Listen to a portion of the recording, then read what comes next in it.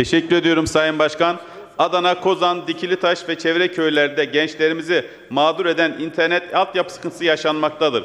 Köylerde yaşayan vatandaşlarımız artık telefonların çekmemesine razı olduklarını ancak eğitim hayatını devam eden ve uzaktan öğretim gören gençlerinin mağduriyetlerinin bir an önce çözülmesi gerektiğini dile getiriyorlar. Daha önce EBA sistemine milyonlarca öğrencinin erişemediği gündeme gelmişti. Bakanlık yaptığı açıklamalarda sorunu çözmeye çalıştığını, internet erişimi yüzünden öğrencilerin mağdur olamayacağını açıklamıştı. Buradan Milli Eğitim Bakanlığı'na, her gün yeni buluşlar şov yapan Teknoloji Bakanlığı'na ve Altyapı Ulaştırma Bakanlığı'nın yetkileri derhal devreye girmeli.